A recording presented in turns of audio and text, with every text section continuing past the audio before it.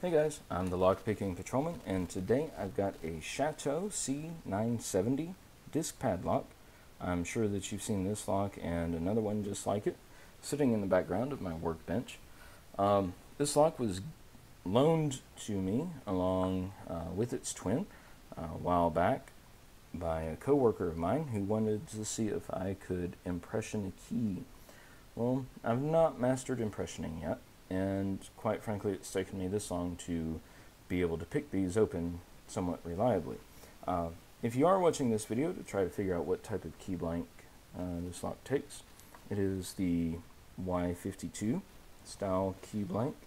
Um, there have been several other videos of these locks floating around, including one that Lockpicking Lawyer did some months back, and his version of this same lock had a reverse Yale style keyway, and I believe that one took a Y53 key blank. I'm not positive. If, uh, if you know better than I do, please leave it in the comments below so we can help some somebody who's looking to make copies of their keys. Anyway, I'm going to use uh, 30 thousandths pry bar, top of the keyway, and the trick that I've learned with these over the months that I've been trying to get them open reliably is to use just very light tension. And you can see that I'm only applying enough tension to just barely rotate the core. Um, I'll go in with a medium hook, and one is loose. Two, I believe I got a click out of. Three.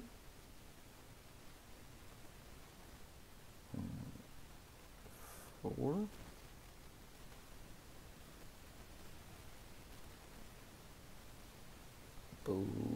Got four set. Um, five. Click out of him. Click out of six. Come all the way back up to the front. There's one.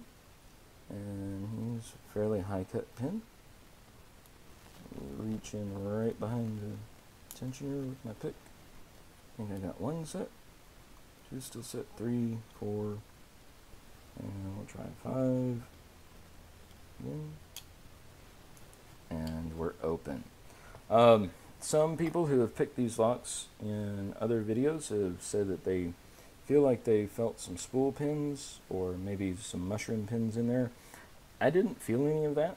Um, I believe that the secret to this lock is just tensioning it correctly. Um, it has some very small pins in there, uh, six pins to go in a uh, fairly, not quite so thick uh, lock body. Um, you can see it compared to ABUS 8345. Um, so not really terribly thick. Uh, so those are some pretty small pins in there, uh, but I didn't feel any counter rotation. Again, I believe that the trick is just simply intentioning. But anyway, I appreciate you guys watching. If you have any questions or comments, please leave them below. Uh, please don't pick any locks that don't belong to you, unless if they were loaned to you to use as lockpicking material for your YouTube channel. Uh, please do click like.